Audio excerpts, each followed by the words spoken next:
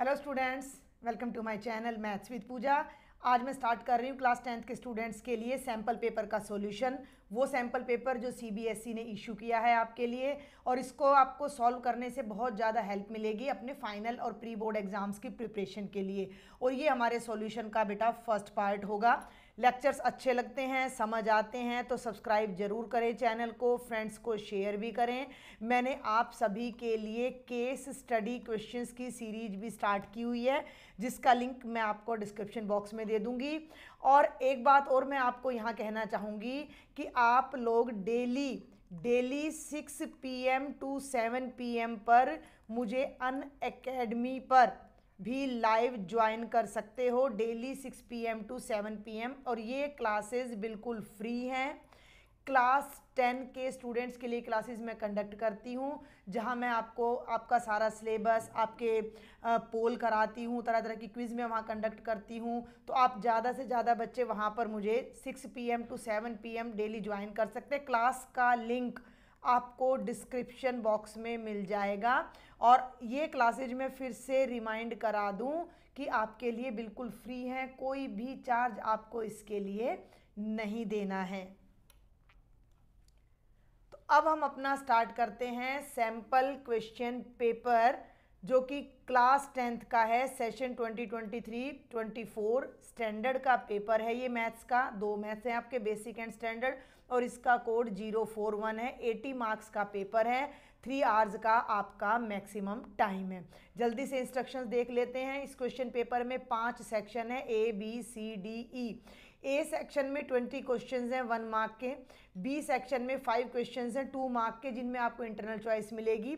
सी section में six question हैं each question carry three marks D section में चार क्वेश्चन हैं और हर क्वेश्चन के पाँच नंबर हैं। ई सेक्शन में तीन case study base integrated units होंगी। हर क्वेश्चन चार नंबर का होगा। उनके सब पार्ट्स होंगे। यानी कि अगर हम एक क्वेश्चन की बात करते हैं तो उसके तीन पार्ट्स होंगे वन वन और टू मार्क्स के। और इस टू मार्क्स वाले में आपको इंटरनल चॉइस भी मिलती है। ये देख लो।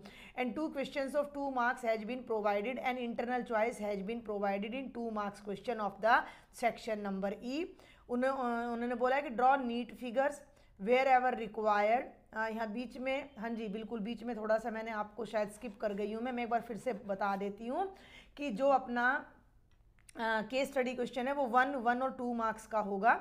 और सभी questions all questions are compulsory however internal choice in two questions of five marks पाँच पाँच नंबर के दो क्वेश्चन में आपको वो मिलेगी चॉइस मिलेगी। थ्री मार्क्स के दो दो क्वेश्चन में चॉइस मिलेगी और टू मार्क्स के भी मतलब सेक्शन बी सी और डी में आपको इंटरनल चॉइस मिलेगी। क्लियर है? पाई को आपने ट्वेंटी टू बाई सेवन लेना है जब तक आपको एग्जामिनर बोल नहीं देता है। क्लियर हो गया? ये सारी इंस्ट्रक्शंस मुझे लगता है अभी तक आपने देख भी ली होंगी। तो अब हम अपना सेक्शन नंबर ए से स्टार्ट करते हैं। बहुत आराम से, बड़े प्यार से आपने क्वेश्चंस को देखना है। कोई डाउट है, कोई क्वेरी है तो मुझे कम, उसमें कमेंट बॉक्स में ज़रूर आपने लिखना है। चलिए पहला क्वेश्चन देखते हैं। If two positive integers a and b are written as a is equal to x cube y square and b is equal to x y cube ध्यान देंगे a है x cube y square b है x into Y cube और ये जो आपके x और y हैं दीज आर प्राइम नंबर्स अब ये पूछ क्या रहा है उस बात पे फोकस करना है the result obtained by dividing the product of two positive integers, जो आपके दोनों इंटीजर्स हैं, a और b जो आपके दोनों इंटीजर्स हैं, a और b, उनकी प्रोडक्ट को डिवाइड करें बाय द किससे? एलसीएम ऑफ़ ए बी से। अगर हम इन दोनों की प्रोडक्ट को इन्हीं के एलसीएम से डिवाइड करते हैं तो क्या आंसर आएगा? क्लियर मीन्स यानी कि हमें पहले इन दोनों नंबर्स का क्या निकालना है? एलसीएम और एलसीएम मैंने क्या बताया है कि सभी फैक्टर्स की हाईएस्ट पावर की प्रोडक्ट तो दोनों का एक फैक्टर तो एक्स है, लेकिन एक्स की पावर यहाँ थ्री है और यहाँ वन है तो एक्स पावर थ्री आ जाएगा। वाई यहाँ भी है। अगर कोई फैक्टर पहले वाले में होता, दूसरे में नहीं होता तो हम उसको भी लेते। ठीक है? एक भी फैक्टर को छोड़ना नहीं है एलसीएम में। जब हम एचसीएफ कैलकुलेट करते हैं तो हम कॉमन फैक्टर्स लेकर चलते हैं। जब हम एचसीएफ कैलकुलेट करते हैं तो हम कॉमन फैक्टर लेकर चलते हैं, लेकिन एलसीएम के अंदर हम ऑल फैक्टर्स को लेकर चलते हैं। तो वाई आ जाएगा दूसरा फैक्टर और वाई की पावर इधर टू है और इधर थ्री है तो यहाँ थ्री तो एलसीएम आ जाएगा एक्स क्यूब वाई क्यूब अब हम यहाँ चलते हैं प्रूव का इसको इस डिवीज़न को कैलकुलेट करते हैं। ए और बी की प्रोडक्ट तो ए की वैल्यू है एक्स क्यूब वाई स्क्वेयर ठीक है, ये दिख रहा है यहाँ पर। ऊपर अपना स्टेटमेंट पे आप देख लो ए है X cube Y square B है एक्स वाई क्यूब तो इनटू में आ जाएगा एक्स वाई क्यूब और एलसीएम है मेरा एक्स क्यूब वाई क्यूब कर दो डिवाइड एक्स क्यूब से X cube cancel Y cube से वाई क्यूब इधर एक्स बच गया और इधर वाई स्क्वेयर तो एक्स वाई स्क्वेयर मेरा आंसर आएगा, जो कि ऑप्शन नंबर बी है। तो बिल्कुल आसान सा आपका क्वेश्चन था। और क्वेश्चन नंबर सेकंड भी बिल्कुल ही आसान है, जल्दी से देखते हैं। The linear polynomial, the given linear polynomial has. ये पोलिनोमियल है जिसका ये ग्राफ बना हुआ है। इसके कितने जीरोज हैं? हम सबको पता है, कोई भी ग्राफ एक्स एक्सिस को जितनी जगह कट करता है, उतनी ही उसकी जीरोज होती है। तो ये एक्स एक्सिस को एक ही जगह कट कर रहा है तो एक ही ज़ीरो है। और वो ज़ीरो क्या है? थ्री पॉइंट है। ये थ्री कोमा ज़ीरो लिखा हुआ था यहाँ। तो ये आपका ऑप्शन हो जाएगा कि इसकी केवल एक ज़ीरो है और वो ज़ीरो थ्री है। दो ज़ीरो तो हो नहीं सकते क्योंकि ग्राफ दो जगह नहीं कट कर रहा है, एक जगह कट कर रहा है तो नो भी नहीं आएगा और फोर ज़ीरो हो नहीं सकता। यहाँ देखना होता है एक्स एक्सिस पर ये कहाँ कट कर रहा है। थर्ड क्वेश्चन पर चलते हैं। ये है बेटा third question the lines representing the given pair of linear equations are non intersecting दिख रहा है? दोनों लाइन पैरेलल दिख रही हैं। ये फ़र्स्ट लाइन की इक्वेशन है और ये सेकंड लाइन की। Which of the following statements is true जब लाइंस पैरेलल होती हैं तो A one by A two is equal to B one by B two and not equal to C one by C two होता है तो option number B मेरा correct हो जाएगा। अगर मैं इस ऊपर वाले ऑप्शन की बात करूँ, सारा समझा देती हूँ तो ये आपका को इंसिडेंट होगा और आपके इनफाइनाइट सॉल्यूशन होंगे। इन, और इन नीचे वाली दोनों कंडीशंस में लाइन आपकी इंटरसेक्टिंग हो जाएगी और आपका यूनिक सॉल्यूशन होगा। तो फ़िलहाल हमारा जो क्वेश्चन है, उसके अकॉर्डिंग तो second option is correct. Fourth question पे आ जाओ। The nature of the roots of the quadratic equation. Nine X square minus six X minus two is equal to zero का रूट कैसे होंगे? तो इस इक्वेशन को कंपेयर कर लीजिए। एक मिनट। इस इक्वेशन को कंपेयर कर लीजिए A X square plus B X plus C is equal to zero से। Nine X square minus six X minus two is equal to zero. तो ए की वैल्यू नाइन हो गई बी की वैल्यू माइनस सिक्स हो गई और सी की वैल्यू माइनस टू। अब रूट्स का नेचर निकालने के लिए आपको निकालना है डिस्क्रिमिनेंट, जो कि होता है B square minus four A C. B है minus six square, four A कितना है नाइन, सी कितना है माइनस टू। ये बन गया thirty six plus seventy two है ना, फोर नाइन जा thirty six thirty six two जा सेवेंटी टू, दोनों माइनस मिलके प्लस हो गए, वन हंड्रेड एट पॉजिटिव आ गया। और जब डिस्क्रिमिनेंट पॉजिटिव होता है तो दोनों रूट्स डिफरेंट होते हैं और रियल होते हैं तो ऑप्शन नंबर सी करेक्ट हो जाएगा two distinct real roots fifth question पर आ जाइए। Two A P have the same common difference दो ए पी हैं अलग अलग हैं, लेकिन दोनों का कॉमन डिफरेंस सेम है। फ़र्स्ट टर्म अलग अलग है। The first term of one of these is minus one अगर एक की फ़र्स्ट टर्म माइनस वन है तो कॉमन डिफरेंस डी है। And that of the other is minus eight और दूसरी एपी की जो फ़र्स्ट टर्म है वो माइनस एट है और कॉमन डिफरेंस आपका डी है। क्लियर हो गई बात यहाँ तक? Find the difference between the difference between their fourth term is अब पहले वाले की फोर्थ टर्म ए फोर ले लेंगे, दूसरे वाले की फोर्थ टर्म को कैपिटल ए फोर ले लेंगे। क्लियर है? ए फोर का फॉर्मूला होता है A plus three D A छोटा डी भी छोटा, लेकिन इधर वाले में ए कैपिटल लेंगे प्लस थ्री डी और ये इनका एडिशन नहीं निकालना था। एक मिनट, इनका एडिशन नहीं निकालना था, इनका डिफरेंस निकालना था। ये मैंने गलत साइन यहाँ लगा दिया, इनका डिफरेंस निकालना था। तो a plus three D minus A minus three D ये d सेम है? क्योंकि बुक वाले ने खुद बोला है एग्जामिनर ने खुद बोला है कि भैया कॉमन डिफरेंस सेम है। तो बेटा थ्री डी से थ्री डी कैंसिल हो गया और ये आपके पास क्या बच गया? A माइनस ए ए कितना है? माइनस वन और ये कितना है? Minus eight minus one plus eight seven आ जाएगा। आपका ऑप्शन देख लीजिए कौन सा है? ये ऑप्शन नंबर सी है। तो ये था फिफ्थ क्वेश्चन सिक्स पर चलते हैं. अब देखते हैं question number six what is the ratio in which the line segment joining 2 comma minus 3 and 5 comma 6 is divided by X axis? एक ब्लैंक पेज ले लेते हैं. वहाँ पर मैं आपको ये पॉइंट्स भी प्लॉट करके दिखाती हूँ. देखो पॉइंट्स क्या हैं? पॉइंट्स है टू माइनस थ्री और फाइव सिक्स तो एक्स टू और वाई माइनस थ्री कोई यहाँ पर आपको मिलेगा। क्लियर है? अगर मैं इसको ए नाम दे दूँ। और x फाइव और y सिक्स है तो कोई यहाँ पर आपको वो पॉइंट मिलेगा। हम, हमें कोई नेसेसिटी नहीं है। वन मार्क का क्वेश्चन है। हमने सिर्फ़ आंसर देना है, लेकिन हमने अंडरस्टैंड भी करना है। मे बी कि यही टू मार्क्स में आ जाए। तो ए को जब मैं बी से मिलाऊँगी तो कहीं ना कहीं ये एक्स एक्सिज पर कट करेंगे। और यहाँ पर जो भी पॉइंट सी है वो इनको किस रेशियो में डिवाइड कर रहा है? दिस इज़ द क्वेश्चन तो जब भी इस तरह का क्वेश्चन आए तो जल्दी से एक रफ डायग्राम आप अपना खुद का ऐसे बना सकते हो। टू मार्क्स में आ जाए तो एग्ज़ाम में भी बना दो। ये सी पॉइंट है, उधर ले सकते हो। आपका मन करे कि भाई टीचर ये तो इधर है तो इधर ले लेते हैं भैया। अब एक बात को पकड़ना, ये पॉइंट एक्स एक्सिस पर है। देखो, यहाँ भी इसने बोला है is divided by X axis X axis किस रेशो में इसको डिवाइड कर रहा है? समझ में आ रही है मेरी बात? तो जब एक्स एक्सिज पर कोई पॉइंट लाई करता है तो उसके कोऑर्डिनेट्स एक्स कोमा ज़ीरो होते हैं। तो सी के कोऑर्डिनेट्स हो गए एक्स कोमा ज़ीरो रेशो हमने मान लिया के रेशो वन है। अब केवल रेशो बतानी है। केवल रेशो बतानी है तो मुझे के की वैल्यू चाहिए। तो के की वैल्यू के लिए मैं सेक्शन फॉर्मूला में वाई वाला कॉन्सेप्ट यूज़ करूँगी कि Y is equal to M one Y two plus M two Y one by M one plus M two क्यों? क्योंकि वाई की वैल्यू इधर ज़ीरो है और एम वन की जगह आप के लगा दो तो के को भाई अब आप किससे मल्टीप्लाई करोगे? सिक्स से। तो के इंटू सिक्स और वन को किससे मल्टीप्लाई करोगे? माइनस थ्री से। वन इंटू माइनस थ्री और divided by K plus one अब देखो क्या होगा। ये के प्लस वन तो इधर चला जाएगा ज़ीरो राइट right साइड में बच जाएगा six K minus three three को लेफ़्ट में ले जाओ, three is equal to six K K is equal to three by six, यानी वन बाई टू।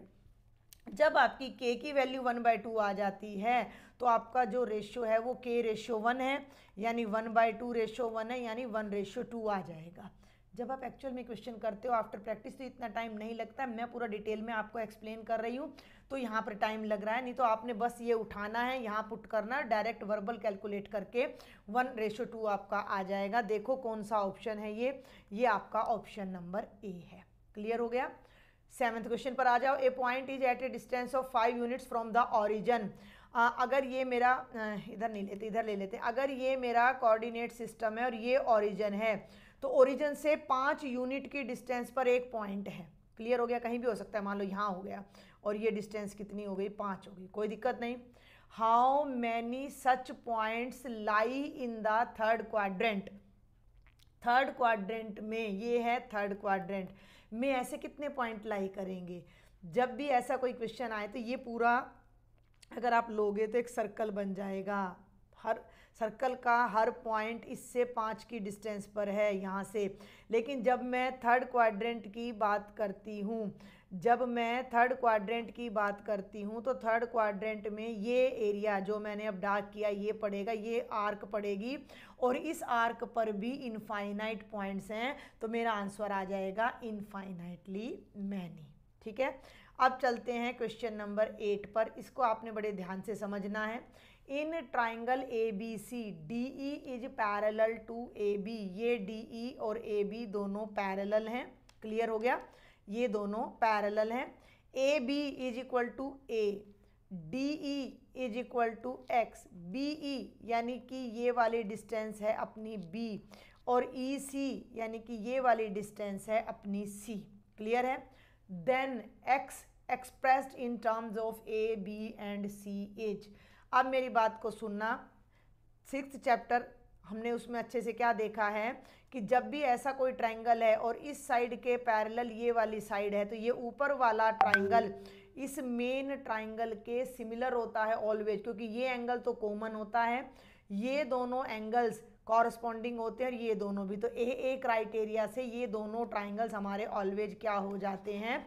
सिमिलर हो जाते हैं। तो अब आप यहाँ आ जाओ तो ट्राइंगल डी ई सी सुन लो मेरी बात। ट्राइंगल डी उल्टा ले गई मैं। डी सी ई ले लो, कोई फ़र्क नहीं पड़ता। D C E is similar to triangle A C B D C E is similar to A C B clear हो गया? और जब दो ट्राइंगल सिमिलर होते हैं तो उनकी कॉरस्पॉन्डिंग साइड्स की रेशियो इक्वल होती है।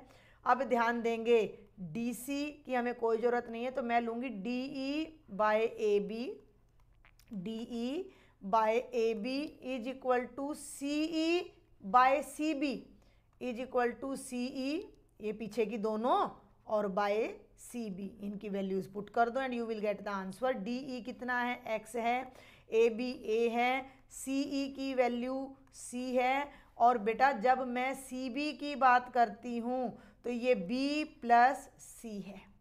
क्लियर हो गया? क्रॉस मल्टीप्लाई करो, हमें x की वैल्यू निकालनी है तो a को राइट साइड में ले जाओ तो आ जाएगा x is equal to A C by B plus C check करो कौन सा ऑप्शन है। ऑप्शन नंबर बी आ जाता है ये। लॉजिक समझ आया? जब भी इस तरह का क्वेश्चन आए तो ये बात आपने ध्यान रखनी है। चलिए आगे आ जाते हैं हम अपने नेक्स्ट क्वेश्चन पर। ये है क्वेश्चन नंबर नाइन फिर इसको मैं थोड़ा ऊपर कर लेती हूँ ताकि आपको अच्छे से दिखाई दे। क्वेश्चन नंबर नाइन क्या कहता है? If O is a centre of a circle ये सेंटर है code P Q makes an angle of 50 degree with the tangent P R देखो, ये तो पी क्यू कोड है, ये पी आर टेंजेंट है, और बेटा जी, दोनों के बीच में 50 डिग्री का एंगल है। इज़ इट ओके लेकिन एक बात और सुन लो, ऐसे ही अगर कोई सर्कल है, ऐसे ही कोई टेंजेंट जा रहा है और ये रेडियस है तो ये ऑलवेज इस पर क्या होता है? परपेंडिकुलर तो अब देखो ओ पी तो रेडियस है पी आर टेंजेंट है तो ये पूरा एंगल कितना होगा? 90 लेकिन 90 में से ये इतना एंगल कितना बचता है? 50 डिग्री क्लियर है? समझ में आ रही मेरी बात? भाई, ये वाला एंगल 50 है तो ये वाला एंगल कितना बच जाएगा? 40 एंगल ओ पी क्यू सुन रहे हैं आप मेरी बात को? एंगल ओ पी क्यू अंदर वाला ये इतना एंगल कितना बच जाएगा? 40 एक बार इसको क्लीन करके दोबारा से यही बात मैं फिर बता देती हूँ कि इस कोड ने इस ट्राइंगल इस टेंजेंट के साथ जो एंगल बनाया, वो 50 है। तो जो ये अंदर वाला है, ये 40 बचेगा, क्योंकि ये कंप्लीट एंगल 90 है। अब सुनो मेरी बात ध्यान से। ट्राइंगल ओ पी क्यू में ओ पी रेडियस है ओ क्यू भी रेडियस है, और ये पूरा एक ट्राइंगल में जब दो साइड्स इक्वल हैं तो थर्ड जो दोनों एंगल्स होंगे, दोनों साइड्स के जो अपोजिट एंगल्स होंगे, वो भी इक्वल होंगे। तो ये एंगल भी कितने का आ जाएगा? 40 डिग्री। यहाँ तक की कहानी समझ आ गई, करना क्या था? Then the angle subtended by the code at the centre तो कोड ने सेंटर पर कितना एंगल बनाया, वो आपने बताना है। तो ये कोड है पी क्यू इसने जो सेंटर पे एंगल बनाया, वो ये है, ये बताना है। तो ये बाहर वाला 50 था, ये 40 था, ये भी 40 आएगा, क्योंकि दोनों रेडियस के अपोजिट एंगल है। ट्रायंगल के दो एंगल्स का सम 80 आ गया तो थर्ड एंगल 180 में माइनस कर दो तो कितना आ जाएगा? 100 डिग्री आ जाएगा। तो एंगल पी ओ के ओ की वैल्यू 100 आएगी, जो कि आपका ऑप्शन नंबर बी है। क्लियर हो गया? नेक्स्ट क्वेश्चन पर चलते हैं। ये है बच्चे question number ten. A quadrilateral P K O R S is drawn to circumscribe a circle एक ये सर्कल है, इस सर्कल को एक क्वाड्रिलेटरल ने सर्कमस्क्राइब किया हुआ है। इनकी सबकी साइड्स आपको गिवन है। पी क्यू ट्वेल्व है। क्यू आर फिफ्टीन है। आर एस है। तो एस पी आपने बताना है। ये अगर आप ध्यान से देखोगे तो एरिया रिलेटेड टू सर्कल में एक क्वेश्चन भी है, जो थ्योरम भी आप इसको कह सकते हो कि जब इस तरह से किसी सर्कल को कोई क्वाड्रिलेटर सर्कमस्क्राइब करता है तो अपोजिट साइड्स का सम सुन लो ध्यान से। P Q plus S R is equal to P S plus Q R is equal to P S plus Q R तो पी क्यू कितना है? ट्वेल्व है। एस आर कितना है? फोर्टीन है। पी एस हमें पता नहीं है और क्यू आर कितना है? फिफ्टीन है। तो ये ट्वेंटी सिक्स हो गया। ये ट्वेल्व है भैया। और ये फिफ्टीन लेफ़्ट में आएगा बेटा जी तो माइनस हो जाएगा और पी एस की वैल्यू कितनी आ जाएगी? इलेवन सेंटीमीटर जो कि ऑप्शन नंबर डी है। तो छोटे छोटे लॉजिक छोटे छोटे ट्रिक्स अगर आपको याद हैं तो आप इजीली अपने क्वेश्चंस कर सकते हो। बीच में मैं एक बार फिर से अपने सभी बच्चों को याद दिलाना चाहूँगी कि आप लोग मुझे अन अकेडमी पर भी ज्वाइन कर सकते हो daily six P to seven P हमने अभी एक दिन पहले ही कैश रिवार्ड्स पर बेस्ड भी क्विज कंडक्ट की थी, जिसमें मैंने अपने स्टूडेंट्स को 175 और 50 रुपीज़ का प्राइज़ भी दिया था, जिन्होंने क्विज में फ़र्स्ट, सेकंड और थर्ड पोजीशन ली थी। ये क्लासेस टोटली फ्री हैं। क्लास टेंथ के लिए मैं ये क्लासेस कंडक्ट करती हूँ तो आप वहाँ पर ये क्लास इन क्लासेज में मुझे ज्वाइन कर सकते हैं। क्लास का जो लिंक है वो आपको इसी लेक्चर के डिस्क्रिप्शन बॉक्स में मिल जाएगा। ठीक है? चलिए अब हम चलते हैं क्वेश्चन नंबर इलेवन पर। आ, बड़े ही आसान आसान से क्वेश्चन है कोई ज़्यादा नहीं बस थोड़ा घुमा देते हैं सैंपल पेपर में बात को और कुछ नहीं है। Sine theta A by B दे रखा है तो कॉस थीटा निकालना है। हम सबको पता है कॉस थीटा होता है one minus sine square theta का under root sine theta A by B है तो साइन स्क्वेयर थीटा हो जाएगा A square by B square इसको इधर क्रॉस करो तो B square minus A square by B square पूरे का under root under root multiplication और डिवीज़न में सेपरेट हो जाता है तो ऊपर वाले का अलग कर दो, नीचे वाले का अलग कर दो। ऊपर तो क्योंकि दो टर्म्स का कॉम्बिनेशन है तो ऐसे ही रह जाएगा, और नीचे जब बी स्क्वेयर का अंडर रूट करोगे तो बी आ जाएगा। तो B square minus A square का अंडर रूट बी ये आपका ऑप्शन नंबर सी है। कोई भी क्वेरी है, मुझे ज़रूर लिखें टेलीग्राम पर ग्रुप है, आप वहाँ मुझे ज्वाइन कर सकते हो। ट्वेल्थ क्वेश्चन पर आ जाइए। Secant A plus tangent A into one minus sine A तो आपने सीकेंट वाली टर्म को कोस साइन में बदलना है one by cos A tangent को भी देखो, सबसे इजी रहती हैं साइन कोस की जो प्रॉपर्टीज़ होती हैं, वो बच्चों को जल्दी भी याद हो जाती हैं। तो इस वजह से सब चीज़ों को साइन कॉस में बदल लें तो हमें आसान रहता है क्वेश्चन को सॉल्व करना। बस मेन बात यही है। यहाँ कॉस ए को एलसीएम ले लो।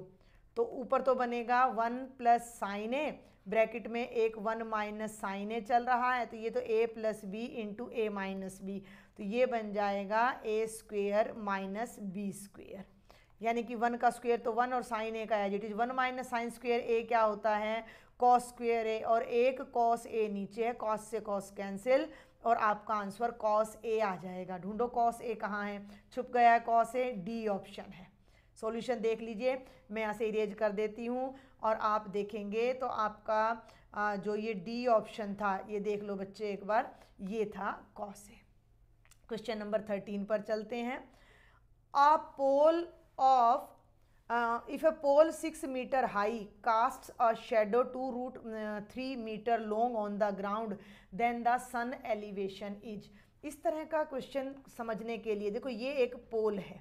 जिसकी हाइट सिक्स मीटर है और कहीं से इस पर ऐसे सनलाइट अपना पड़ रही है ये अपना सन है। और यहाँ लाइट अगर पड़ती है तो इसकी शेडो यहाँ जाएगी। क्लियर है बात को समझना? ए बी पोल है। बी सी इसकी शेडो है जो टू रूट थ्री है। तो ये जो सन यहाँ ओरिजोनटल के साथ जो एंगल बनाता है, ये वाला ए बी सी ए ये सन एलिवेशन होता है। जब भी आपसे सन एलिवेशन पूछा जाए तो एंगल थीटा आपने बताना है। जो सनलाइट अर्थ के साथ अपना बनाती है इंक्लाइंड करती है, जिस एंगल पर होती है। तो थीटा बताना है, बिल्कुल सिंपल क्वेश्चन है भाई, ये परपेंडिकुलर और ये बेस और थीटा आपने निकालना है। तो टेंजेंट थीटा क्या होता है? Perpendicular by base perpendicular six है two root three two three जा सिक्स और देखो टेंजेंट थीटा की वैल्यू आ गई three by root three three से रूट थ्री को कैंसिल करोगे रूट थ्री तो ये अपना कितना आ जाएगा? टेंजेंट 60 डिग्री तो थीटा की वैल्यू 60 डिग्री आ जाएगी, जो कि बेटा आपका ऑप्शन नंबर ए है। और फोर्टीन क्वेश्चन पर आ जाते हैं। ऊपर ले चलते हैं इसको, देखो अब जरा। If the perimeter and area of a circle are numerically equal then the radius of circle is NCERT का क्वेश्चन है। सर्कल का पेरीमीटर टू पाई आर होता है। और एरिया पाई आर स्क्वेयर अगर दोनों इक्वल हैं तो रेडियस की वैल्यू निकालो।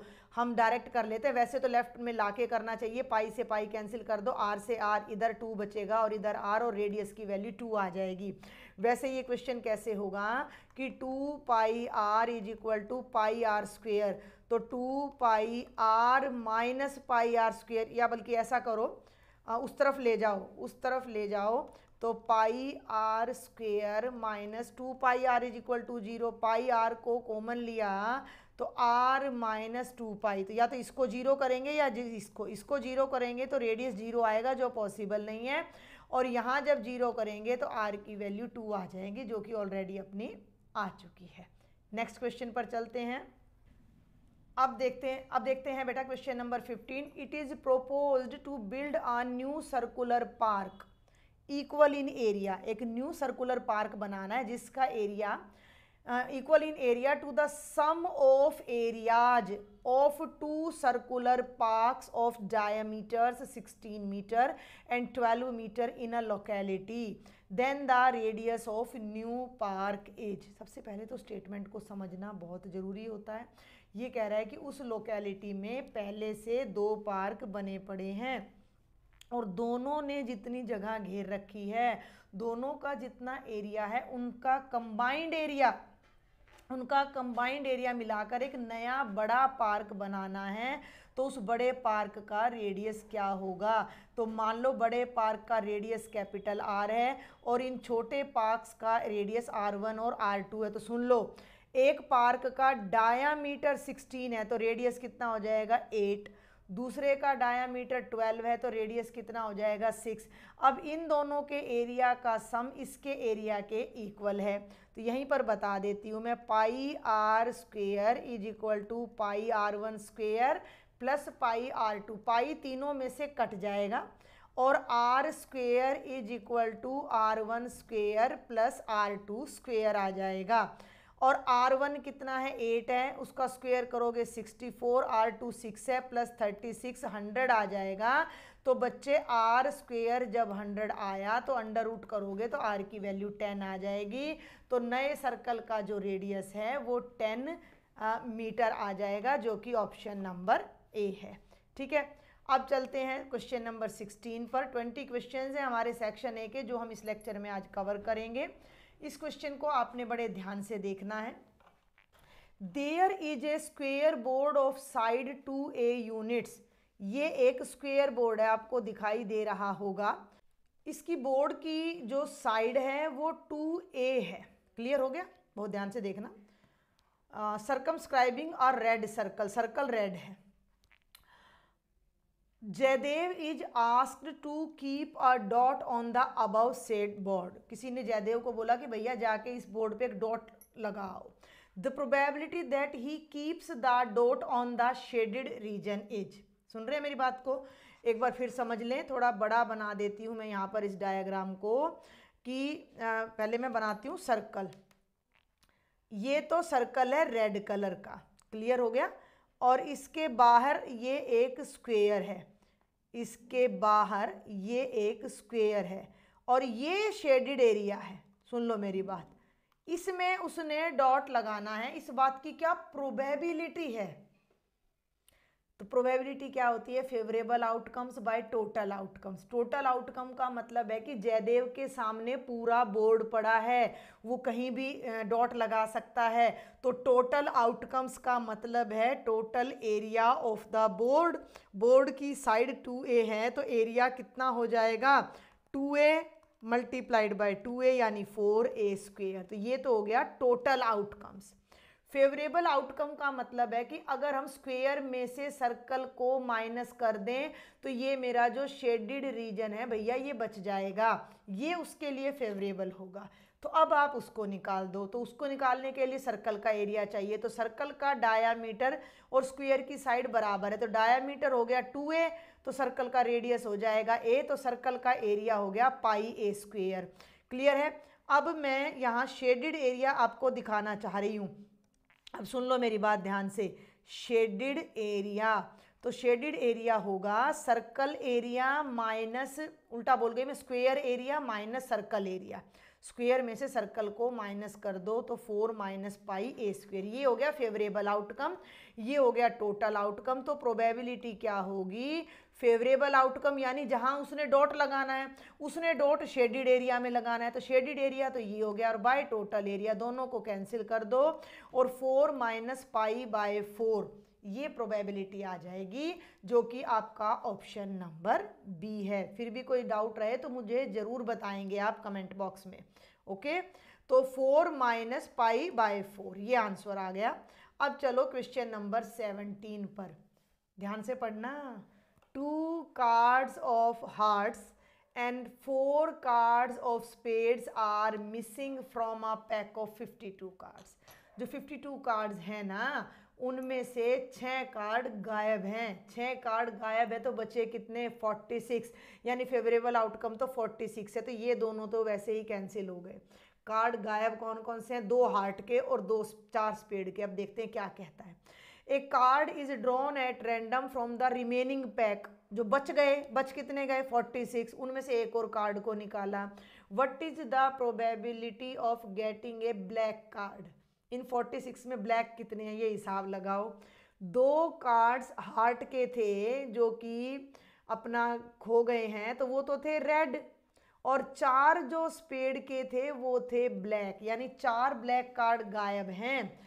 चार ब्लैक कार्ड हमारे गायब हैं। टोटल ब्लैक कार्ड्स कितने होते हैं? ट्वेंटी सिक्स चार गायब हो गए तो बच कितने गए? ट्वेंटी टू तो फेवरेबल आउटकम हो गए ट्वेंटी टू टोटल हो गए फोर्टी सिक्स तो प्रोबेबिलिटी हो जाएगी twenty two by forty six ये आ जाएगी। आया? समझ में? दोनों प्रोबेबिलिटी के थे क्लियर हो गए होंगे। एटीनथ पर आ जाइए। एटीनथ के लिए हमें थोड़ी जगह चाहिएगी। The upper limit of the modal class of the given distribution as इसकी अपर लिमिट बतानी है। एक तो इसको कॉन्टीन्यूस फ्रीक्वेंसी डिस्ट्रीब्यूशन में बदलना पहले। ये कह रहा है below 140 below 145 below 150 below 155 60 and 165 तो सबसे पहले तो आपने इसको कॉन्टीन्यूस में बदलना है। अगर मैं यहाँ इसको लिखती हूँ थोड़ा सा और ऊपर करना चाहूँगी थोड़ा सा और ताकि हमें अच्छी जगह मिले लिखने के लिए। अब मैं यहाँ लिखूँ बिलो 140, 145, 150, 155, 160 एंड 165 तो ये इनकी जो फ्रिक्वेंसीज हैं रिस्पेक्टिवली वो ये हैं 29, 40, 46 एंड 51 और मैं ये आपको बता दूँ दीज आर क्यूमुलेटिव फ्रिक्वेंसीज तो इसके लिए अब आप क्या करो? पहले यहाँ क्लास इंटरवल बनाओ अलग से। Zero to one forty one forty to one forty five, one जब तक क्लास इंटरवल नहीं होगा, आप मॉडल क्लास की अपर या लोअर लिमिट कभी भी नहीं बता सकते हैं। सुन रहे हैं मेरी बात को? तो यहाँ पर दो तीन चीज़ें आपको सीखने को मिल रही हैं और ये हो गई आपकी फ्रिक्वेंसी अब सुनो, ये जो चार बच्चे हैं, ये गर्ल्स हैं गर्ल्स हैं हाइट में तो चार गर्ल्स हैं, इनकी हाइट 140 सेंटीमीटर से लेस है तो ये तो चारों ही आ गई यहाँ पर। लेकिन जो ये 11 स्टूडेंट्स हैं, इनकी हाइट 145 से लेस है। अब 145 से लेस में वो बच्चे भी आ जाएँगे जिनकी हाइट 140 से लेस है। सुन लो मेरी बात। भाई 145 से नीचे हाइट वाले 11 बच्चे हैं। उनमें वो बच्चे भी इंक्लूड हैं जिनकी हाइट 140 से लेस है। ठीक है? भाई 145 से लेस है तो मान लो किसी की height one forty four point nine है, किसी की 140 है, किसी की 142.5 है, किसी की वन इनमें वो बच्चे अगर किसी की हाइट 139 है तो क्या वो लेस देन 145 नहीं होगा? किसी की हाइट अगर 139 सेंटीमीटर है तो क्या वो 145 से लेस नहीं होगा? होगा। लेकिन वो 140 से भी लेस है तो यहाँ डबलिंग हो रही है। ये चार स्टूडेंट्स यहाँ पर रिपीट हो रहे हैं। तो इन चार स्टूडेंट्स को आप यहाँ माइनस करोगे और इलेवन माइनस फोर करोगे तो इनकी फ्रिक्वेंसी सेवन आएगी। अब 150 से नीचे 29 स्टूडेंट्स हैं, जिनमें ये सब हैं तो उनमें से 11 स्टूडेंट्स आप कंटिन्यूसली इनको माइनस करते हुए चलोगे तो 29 में से 11 को माइनस करोगे 18 आएगा। 40 में से 29 को माइनस करोगे 11 आएगा। फिर आप 155 से लेस लोगे 155 से ग्रेटर 160 तक। तो 160 से लेस में 46 माइनस फोर्टी आ जाएगा छः बच्चे आएँगे। और 165 से लेस में वैसे तो सारे हैं, लेकिन 160 से 165 के बीच में जब मैं लेती हूँ तो 51 वन माइनस फोर्टी आएगा। ये आपकी एग्जैक्ट बनती है फ्रीक्वेंसी डिस्ट्रीब्यूशन टेबल। अब आपने इनमें से मॉडल क्लास की क्या बतानी है, चेक कर लो अब एक बार। इसमें मुझे मॉडल क्लास की अपर लिमिट बतानी है तो पहले तो मॉडल क्लास छांट लो। मॉडल क्लास कौन सी होती है? वो क्लास जिसकी फ्रीक्वेंसी मैक्सिमम हो। मैक्सिमम फ्रीक्वेंसी है 18 उसके सामने ये क्लास है 145 टू 150 और उसकी अपर लिमिट कितनी है? 150 तो मेरा आंसर 150 हो जाएगा। अगर इसकी लोअर लिमिट पूछता तो 145 आ जाता आंसर तो ये था क्वेश्चन नंबर 18 समझ आ रहा है। अगर आ रहा है तो सब्सक्राइब करे बिना चैनल पर से नहीं जाना है और ज़्यादा से ज़्यादा फ्रेंड्स को आपने शेयर भी करना है। चलिए, अब हम अपने दो असर्शन रीजन बेस्ड क्वेश्चंस हैं, उनको देखते हैं। सभी बच्चों को पता होगा, मैं फिर से रिपीट कर देती हूँ असर्शन रीजन में क्या होता है। आपको दो स्टेटमेंट्स दी जाती हैं। एक स्टेटमेंट में असर्शन होता है, दूसरी स्टेटमेंट में कोई रीजन होता है। सुन लो ये कोई स्टेटमेंट दे दी असर्शन करके और रीजन करके। तो सबसे पहले आपने दोनों को चेक करना है कि दोनों ट्रू हैं या फॉल्स है। लिख लिया। अब अगर आपको ये चार आंसर में से एक आंसर देना है, अगर असर्शन और रीजन दोनों ही ट्रू हैं और ये रीजन की वजह से असर्शन ट्रू हो रहा है रीजन का यूज़ करते हुए असर्शन ट्रू हो रहा है reason is the reason for assertions भाई ट्रूथ ठीक है? समझ में आ रही मेरी बात? कि इस रीजन की वजह से ही असर्शन हमारा ट्रू हो रहा है तो हम ए ऑप्शन चूज़ करेंगे। लेकिन असर्शन और रीजन दोनों ट्रू है, लेकिन रीजन का असर्शन से कोई लेना देना ही नहीं है। उसका कहीं रोल ही नहीं है उसके ट्रू होने में। तो फिर बेटा जी बी ऑप्शन चूज़ करेंगे। ए ट्रू है आर फॉल्स है तो आप सी यूज़ करेंगे सी चूज़ करेंगे। ए फॉल्स है आर ट्रू है तो आप डी चूज़ करेंगे। तो सबसे पहले तो ये हर बच्चे के माइंड में क्लियर हो जाना चाहिए एग्ज़ाम सेंटर पे बैठ के इनको पढ़ना नहीं है। अब आ जाओ अपनी पहली असर्शन पर स्टेटमेंट नंबर ए पर। Total surface area of the top ये टॉप है, लट्टू है, खिलौना है। Is the sum of curved surface area of hemisphere and the curved surface area of the cone ये कह रहा है कि भैया तुमको जो ये लट्टू दिखाई दे रहा है, टॉप दिखाई दे रहा है, इसका जो टोटल सरफेस एरिया है, वो इस हेमिस्फियर का तो कर्ड सरफेस एरिया निकाल दो और इसका भी कर्ड सरफेस एरिया निकाल के जोड़ दो तो आ जाएगा। क्या ये सही कह रहा है कि गलत कह रहा है? हिसाब लगाओ। कि टॉप का जो टोटल सरफेस एरिया है, वो दोनों कर्ड सरफेस एरिया के सम से आएगा।